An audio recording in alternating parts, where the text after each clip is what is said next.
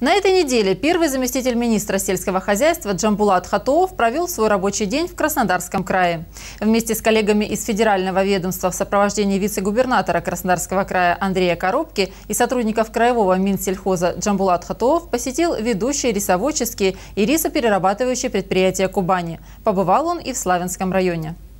В Славянском районе заместитель министра побывал на агрофирме «Приволье». Это многопрофильное предприятие, которое занимается растениеводством, животноводством и переработкой сельскохозяйственной продукции. Джамбулат Хатуов в сопровождении главы Славянского района Романа Синеговского и генерального директора агрофирмы Сергея Лагошина осмотрел недавно введенный в эксплуатацию завод по переработке риса производительностью 16 тысяч тонн готовой продукции в год, после чего участники отправились на поля предприятия мероприятия, где посмотрели комбайны нового поколения, которые позволяют намного качественнее убирать рис. Потери урожая при уборке получаются минимальные. Участники объезда отметили плюсы усовершенствованной техники. Надежда Калинина, Георгий Калинин. Программа «События».